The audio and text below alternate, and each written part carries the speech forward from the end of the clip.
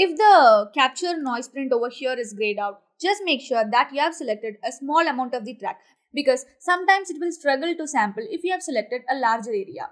And if still capture noise print is grayed out, this is what I used to do.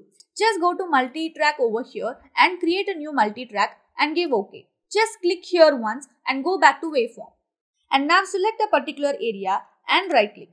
And now you can see capture noise print is enabled. Just repeat the same process if the issue happens again. Just go to multi-track, click here once and come back to waveform.